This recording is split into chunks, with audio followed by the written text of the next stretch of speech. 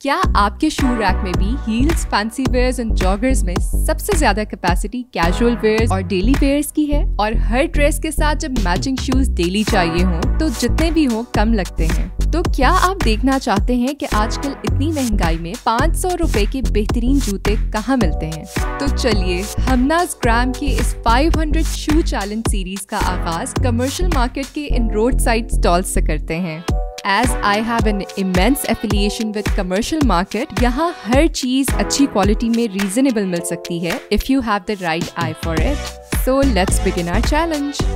ये डिस्प्ले काफ़ी कूल है बिकॉज़ अगर डिटेल से देखें तो बहुत अच्छे डिज़ाइन भी हैं but they are not for 500 and yet my challenge is a bit difficult क्योंकि जब दस रुपये वाला बिस्किट तीस रुपये का हो गया है तो पाँच सौ वाला जूता साढ़े आठ सौ, नौ सौ का हो गया है. Still let's not lose hope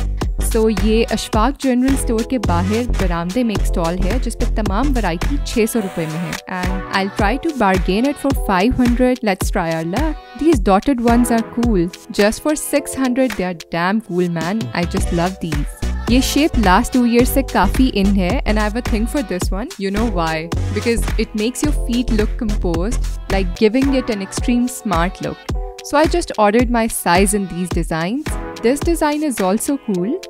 ये ग्लिटर वाले डिज़ाइंस मुझे नेक्स्ट स्ट्रीट में 1250 के मिल रहे थे जिसमें क्वालिटी थोड़ी ज़्यादा बेहतर थी and trust me there is a visible difference in the quality remember one thing you always pay more for your comfort and comfort always comes with a price and that has many forms i'm not just talking about monetary price only okay we'll discuss philosophy later now it's time to try these articles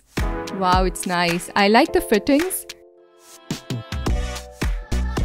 यार सौ रुपये में it's amazing now that I like these shoes so here begins my bargain but nothing work अब जबकि ये design मुझे पसंद आ गया है so I search it in other market for reasonable price कहीं से तो पाँच सौ का मिलेगा ही आई एम श्योर खैर, उम्मीद पे दुनिया कायम है so getting this one pair from here because I love this print now it's time to try this for comfort check ताकि डिसाइड किया जाए, इसमें बाकी डिज़ाइन खरीदने वर्थ इट हैं या नहीं।